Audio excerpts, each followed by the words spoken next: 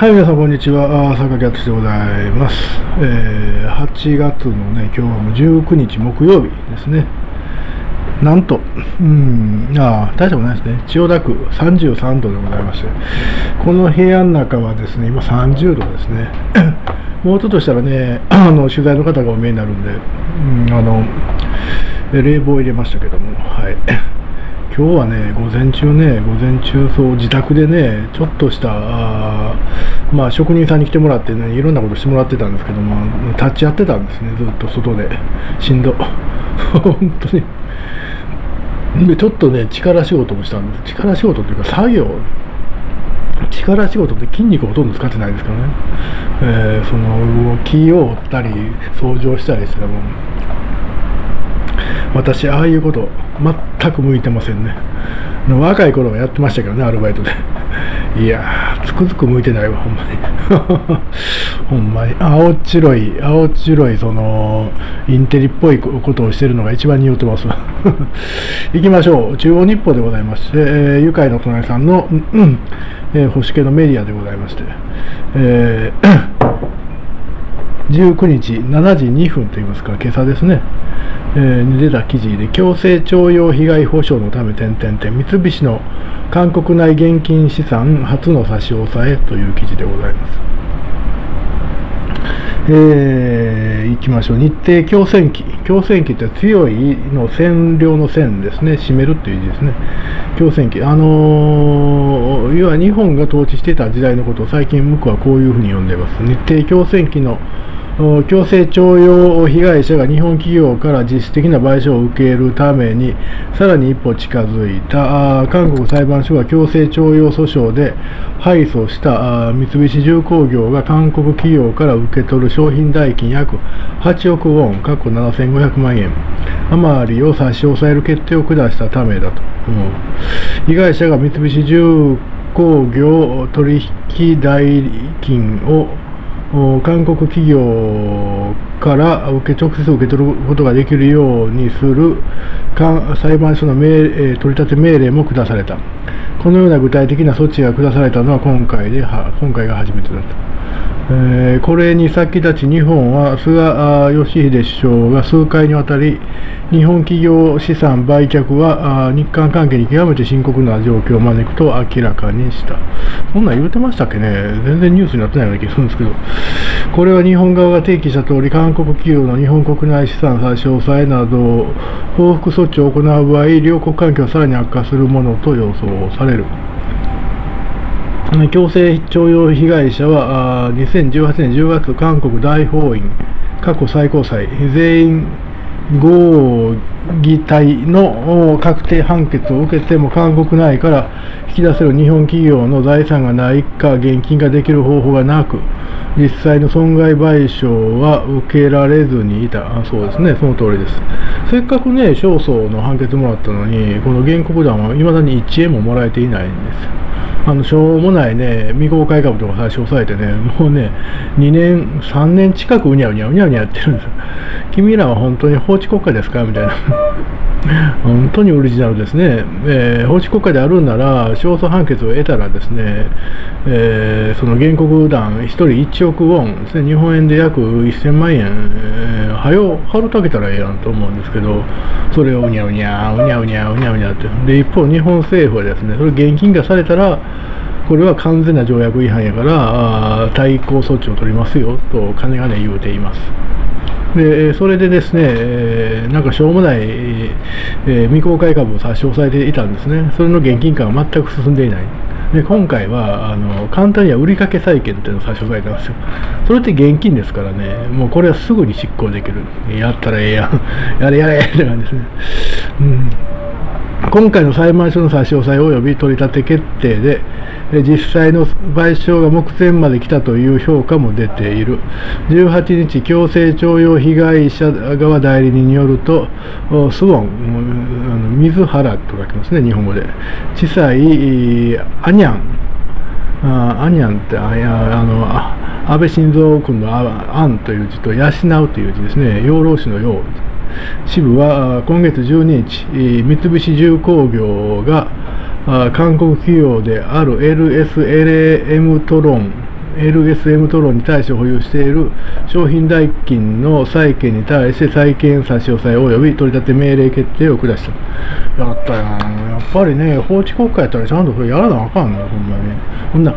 確定判決が出てね、3年もね、お金もらえへんのありえへんやん。やらなあかんで、そんなの。法治国家やろ？オリジナルとはいえ。これに先立って、えー、今月初め強制、えー、動員生存被害者あ1人と死亡した被害者3人の遺族たちが裁判所に出した債権差し押さえを呼び取り立て命令申請に従ったものだと。まあ、これは弁護団が作ったんでしょうね。18日、裁判所の決定が第三債務者である LSMM トロンに到達し、差し押さえ効力が発生した。LSM トロンは裁判所決定の効力により、三菱重工業に商品代金を支払うことができなくなったと。まあ、以下はうにゃうに書いてあるんですけどね、これ、若干問題がありまして、その、三菱重工業ではなく、三菱重工業の子会社に対する商品代金の債債権なんですね、えー、だからそれが同じかどうかっていうのを、これからまた一生懸命調べなあかんのオリジナルのね、手続き結構大変なんですよ。それ調べるのに多分1年ぐらいかかるんちゃうかなと いう気がしますけど、えー、普通に言ったらそんな簡単な話なんですけど、どうするんでしょうね。よう知りません。よう知りませんけども、この件に関して日本側は何ら今のところ情報情報というかどう言いますか、ね、条約違反を認める気配は一切ないし多分菅さんが誰かに変わってもそれは同じことやと思います。となるとですねこれが現金化されたりしますとですね、えー、日本側としては対抗措置つまり条約違反をした国に対してはどういうふうにしたらしなあかんでというのが、まあ、まあ今いろいろ考えてるらしいんですけどもそれを実実行することになるわけですね。えー、2019年の7月に日本の経産省はですね、4品目について、韓国に輸出する際にはですね、輸出管理の強化と。いわゆるいちいち審査しますよという方針にしてですね、なおかつお隣さんをですね、ホワイト国から外して、B 級にしたわけですね。簡単に一段外して、最等上級じゃなくて、その次にしたわけですね。それに対して、ジャパンボイコットやっつって、まあ、大騒ぎになったの。2年前のことです。覚えてらっしゃるかと思いますけども。えー、その次に、ジーソミヤハキヤっていうふうに大騒ぎして、で11月に、それはちょっと待ったるとか、あの、まるでその吉本新喜劇であることをやっていただいたんですけど、今回はもっとやってえな、それ。なんかしなあかんわ。だから、なんか、まあ、日本政府はね、金融関係でなんかするんでしょうけども、まあ、とりあえず一番やりやすいのはビザ、あの、ビザなし、ビザなしで入国できるんですね、今、お隣さんの方は。まあ、今、現実的にはできませんけど、コロナで。でビザなしをビザありにするというようなことは可能です。これやりますと多分向こうは対抗措置として同じように日本人も自由に あのお隣さんに行けないというような措置を取ると思いますので行き来が途絶えるやんと途絶え途絶えはしません、えー、ビザを取ればいいだけの話なんですけど、まあ、そういう手続きをしたりと、まあ、またまたまたですねあのジーソミア騒動をですねもう一回やっていただける